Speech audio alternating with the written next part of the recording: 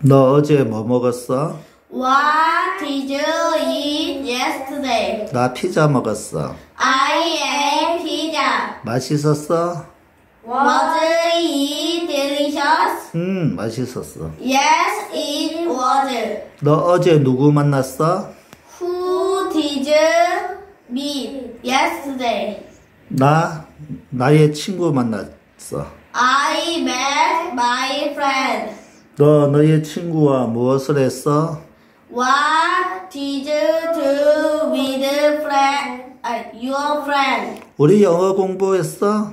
We studied English together. 너 어제 무엇을 샀어? What did you buy yesterday? 나 영어 책을 샀어. I bought English book.